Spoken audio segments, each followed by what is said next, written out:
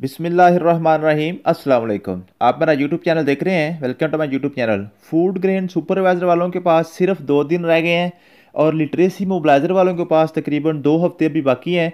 तो आज मैंने आपके साथ इस्लामियत की सारी फ़ाइल शेयर करनी है। जैसा कि आपको पता है कि मैंने आपके साथ मैथमेटिक्स की सारी फ़ाइल कंप्लीट शेयर कर दी थी।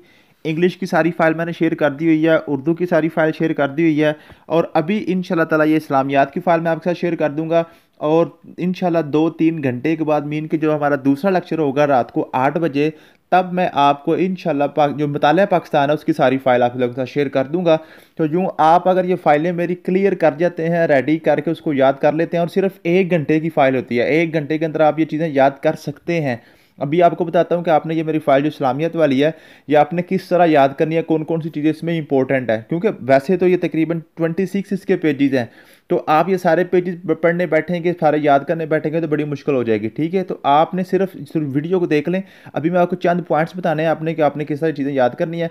तो आपका इन ताला पेपर आपका हंड्रेड परसेंट कवर होगा। ठीक है। और व्हाट्सएप ग्रुप का लिंक इसी वीडियो के डिस्क्रिप्शन में मौजूद है। अगर आपने ज्वाइन करना है तो कर लें और ये नोट्स इन ताला व्हाट्सएप ग्रुप में ही जाएँगे। और अगर आप हमारा रेगुलर सेशन ज्वाइन करना चाहते हो तो मेरा नंबर आपके स्क्रीन पर चल रहा है। व्हाट्सएप करें इन ताला, हम आपको अपने रेगुलर सेशन में भी ऐड कर लेंगे। ठीक है मेल और फीमेल के सेपरेट ग्रुप्स होते हैं हमारे रेगुलर सेशन में। वहाँ पर हम जो है ना कंप्लीट एक एक मैकेनिज्म के साथ आपको तैयारी करवाते हैं। और कोई भी गवर्नमेंट जॉब की टेस्ट की प्रिपरेशन आप कर रहे हैं तो इन ताला हम आपको टेस्ट पास करवाने की गारंटी देते हैं। और जब तक आपकी जॉब नहीं होती, तब तक हम आपको तैयारी करवाते रहते हैं। तो आज जो एक मैंने नया टॉपिक ऐड किया सलामियात में, बाकी मैं सारा आपको अभी बताता हूँ। Islamic calendar. इस्लामिक कैलेंडर के बारह महीने, ये मैंने लिखे हुए हैं, सबसे पहले तो आपने ये बारह महीने जो है ना, तरतीब के साथ याद करने हैं। वो पूछ लेता है कि आठवां महीना कौन सा, छठा महीना कौन सा है रबी अव्वल के बाद कौन सा महीना आता है, रमज़ान के बाद कौन सा आता है, शवाल के बाद कौन सा आता है। तरतीब आपने बारह के बारह याद कर ली। उसके बाद ये चार महीने मैंने रेड कलर में किए हुए हैं। रेड कलर में आपको नज़र आ रहे होंगे, पहला, सातवां, ग्यारहवां और बारहवां, ये आपके हुरमत वाले महीने हैं। हुरमत वाले महीने पूछ लेता है कितने हैं और कौन कौन से हैं। यहाँ पर जो ना, लड़ाई, झगड़ा वगैरह जो वो हराम होता है। ठीक है जी?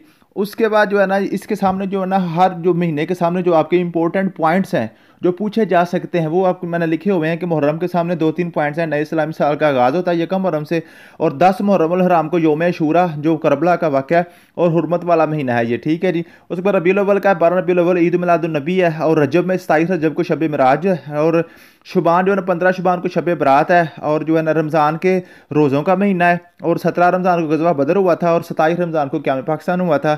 शवाल जो है, यकम शवाल को ईद फितर होती है और जुलहजा के दस जुलहजा को ईद उजहा होती है और आठ से दस जुलहजा को आपको क्या होता है जी, हज होता है। तो ये आपने ये जो इस्लामिक कैलेंडर को चीज़ें याद कर ली हैं। उसके बाद थोड़ा सा मैं आपको ओवरव्यू दे दूँ स्टार्ट पे। मैंने आपको बताया था कि आपने किस तरह याद करना ये स्टार्ट पे आपने जो ना, सबसे पहले तखलीक कायनात। कायनात कैसे तखलीक अल्लाह ताला ने की? कितने दिनों में तखलीक की? ये चीज़ें मैंने लिखी हुई हैं। उसके बाद फरिश्ते फरिश्तों के वाले से पूछ लेता है कि जो है ना, हज़रत जब्राइल, मिकाइल, इसराइल, इसराफील, मुनकर, नकीर और जन्नत के फरिश्ते का नाम दोजह के फरिश्ते का नाम, हिसाब किताब वाले फरिश्तों के नाम, कब्र वाले फरिश्तों के नाम जो मैंने लिखे हुए आप याद कर लीजिए कि पहले आपको आते होंगे। उसके बाद जन्नात हैं ये शैतान जो है, जिन था, ठीक है, जन्नात आग से बनाए गए हैं। ये अब मैंने लिखा हुआ ये क्लियर कर लीजिएगा। इंसान और उसके बाद तखलीक कायनात जो है ना, जो है ना आपका हफ़्ता जिसको शुम्बा कहते हैं, मट्टी बनी थी और इतवार जिसको यकशुम्बा कहते हैं, पहाड़ बने थे, पीर दुशंबा जिसको दरख्त कहते हैं, दरख्त बने थे, मकरूहत बनी थी और इंसान को अल्लाह ताला ने जुम्मे वाला दिन पैदा किया था उसको अदनिया कहते हैं। हज़रत आदम ये सारे जो है ना अम्बिया कराम, ये आपने जो टेबल याद करना है, ठीक है?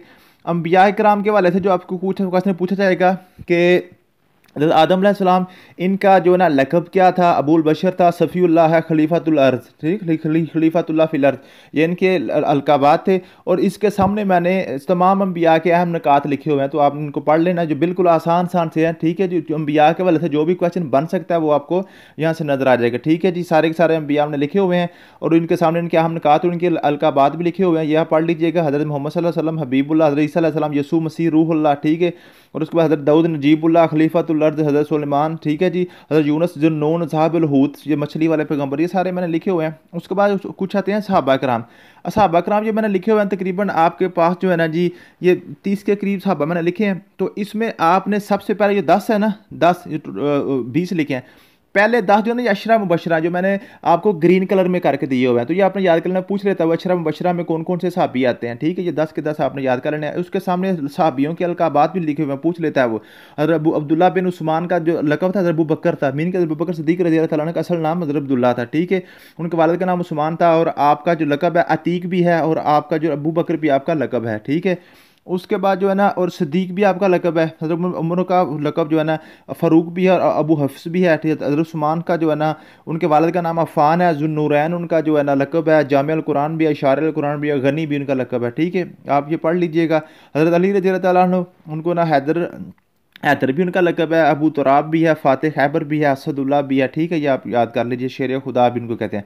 उसके बाद ये अम्बिया कराम का चार्ट है। अगर आप कर सकें तो बड़ी अच्छी बात है, अगर ना हो सका तो फिर ये नेक्स्ट आप रेगुलर सेशन ज्वाइन कर लीजिएगा, क्योंकि ये चीज़ें जो है ना एक एक दिन में हमने एक एक दिन लगा के पूरा पूरा टॉपिक से तैयार करवाए हुए हैं कि हम बिया कराम का ये चार्ट आपको याद किस तरह करवाना ये रेगुलर सेशन के बाद काम होते हैं।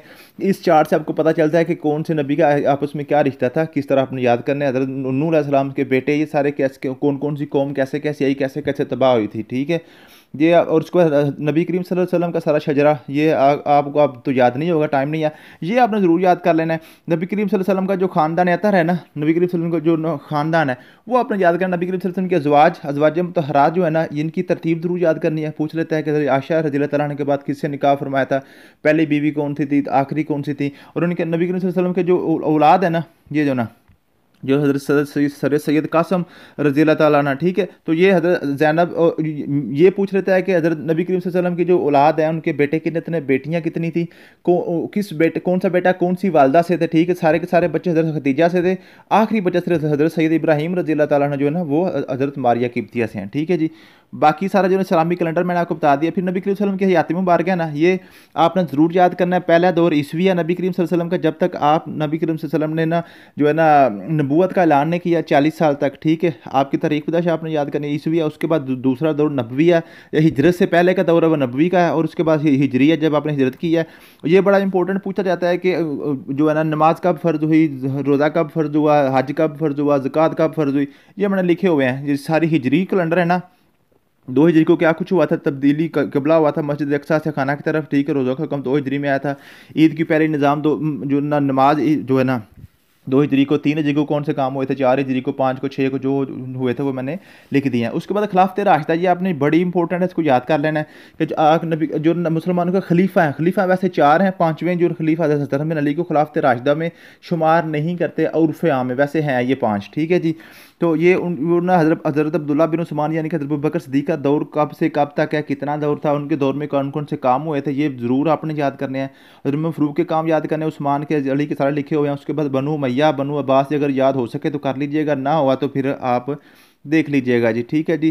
तो ये है, उसके बाद जो ना, जो जंगी ख़ानदान और नमाज़ रोज़ा, और उसके बाद जो ना जो इसकी जो है जो रखते हैं, ठीक है? ये असल में ये सारी फ़ाइल तो याद होती है। आप फर्दन फर्दन आप हमारे रेगुलर सेशन में आएँ। एक टाइम के साथ, एक स्केड्यूल के साथ जब पढ़ेंगे दो चार महीने तो उससे सारे सब्जेक्ट्स इन ताला, नौ के नौ सब्जेक्ट्स जो आपके P P S C F P S C में पूछे जाते हैं, वो इन ताला हम आपको जब रेडी करवाते हैं तो फिर जाके आपका सारा क्लियर होता है। तो ये तो एक हमारी जो छोटी सी काविश है कि अगर आप शॉर्ट टाइम में दो चार दिनों में अगर तैयारी करके पास हो जाए तो अल्लाह ताला आपको कामयाब करे। तो मिलते हैं जी नेक्स्ट वीडियो में। अल्लाह हाफिज़।